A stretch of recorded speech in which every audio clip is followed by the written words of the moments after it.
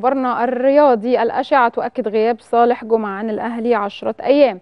تأكد غياب صالح جمعة لاعب وسط فريق الكرة بالنادي الأهلي عن مباراة الذهاب بدوري أبطال إفريقيا أمام الوداد المغربي والمحدد لها السبت المقبل بعد إصابته بشد في العضلة الخلفية بمباراة العودة أمام النجم الساحلي بنصف نهائي دوري أبطال إفريقيا والتي انتهت بفوز المارد الأحمر 6-2 ينفذ اللاعب برنامجه التأهيلي الخاص به على مدار الأيام القليلة المقبلة أملا في لحق إلحاقه بمباراة العودة أمام الوداد المغربي والمقرر إقامتها مطلع الأسبوع بعد المقبل في نهائي دوري أبطال إفريقيا.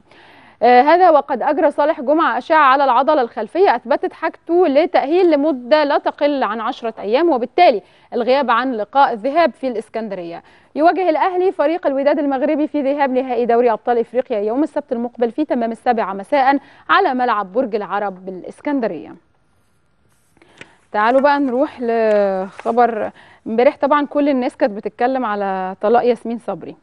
ياسمين صبري حديث ال social media بعد خبر طلاقها إن هي كانت متجوزة بقى لها خمس سنين وخبت جوازها عن أعين الجمهور. هي ما خبتش بس هي الموضوع شخصي جدا فما كانتش بتتكلم فيه وانفصلت بعد ما أثارت الجدل حول زواجها ب 20 يوم. طيب النجمة الصاعدة ياسمين صبري انفصلت عن زوجها بشكل نهائي بعد فترة زواج استمرت خمس سنين حيث تزوجت ياسمين قبل دخولها الوسط الفني لأن هي لم تكن تتحدث عن زوجها في أي مناسبة ولا في وسائل الإعلام ولا برامج تلفزيونية ولا حتى على فيسبوك لأن هي المرة الأولى كشفت عن زواجها خلال ظهورها في أحد البرامج التلفزيونية أول الشهر ده يعني. وابتدت إن هي تتكلم عنه وإن هي أخفته علشان موضوع شخصي وكلام طبعا كلنا شفناه. عموما ياسمين يعني التدخل طبعا كان في امبارح حفله على الفيسبوك على موضوع طلاق ياسمين صبري وآثار الموضوع ده استيائها بشكل كبير جدا لأن هي حست إن ده تدخل في حياتها الشخصية. ناس بقى قعدت تقول مش عارف إيه الناس كانت مبسوطة ما أعرفش مبسوطة ليه يعني. تحس إن هو يعني إيه كان العقبة الوحيدة أمامه إن ياسمين صبري تطلع عشان يعني هو يتقدم ما علينا.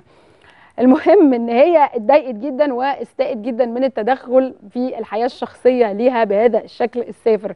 وقالت تحديدا أنا والله كرهت الأضواء اللي خلت الشخص سلعه لبيع الصحف الصفراء وغيرها كرهت إني تحولت لشخص أهي التويت أهي آه لشخص يجعل آه الصحفي يروح شغله ويألف اللي هو عايزه.